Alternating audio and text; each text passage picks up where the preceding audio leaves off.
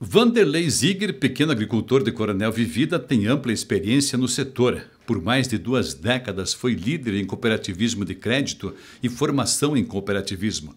Nos últimos anos foi presidente da Unicafes, a União Nacional das Cooperativas da Agricultura Familiar e Economia Solidária. Esteve na equipe de transição e agora foi confirmado na Secretaria da Agricultura Familiar do MDAF, o Ministério do Desenvolvimento Agrário e Agricultura Familiar. A base do trabalho está na missão do Ministério. O tema da reforma agrária, obviamente, que é uma das agendas, mas um foco central também está no, na ampliação da produção de alimentos.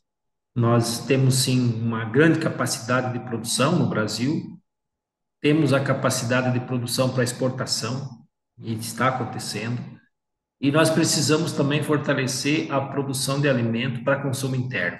Então, essa é a tarefa é, dada pelo presidente Lula ao ministro Paulo Teixeira, e obviamente que as secretarias que nós vamos estar conduzindo, que são quatro, eu estarei é, à frente da Secretaria da Agricultura Familiar, têm a tarefa de organizar grandes e importantes políticas de apoio a e incentivo à produção, à comercialização, acesso ao mercado, assistência técnica. Um dos desafios no momento é encontrar recursos para financiar todas as atividades ligadas à Secretaria da Agricultura Familiar. Como o Ministério não existia, a busca é para que a gente possa é, negociar volumes de recursos com o Ministério da Fazenda, negociar também e buscar apoio com outros ministérios, por exemplo, com o Ministério do Desenvolvimento Social.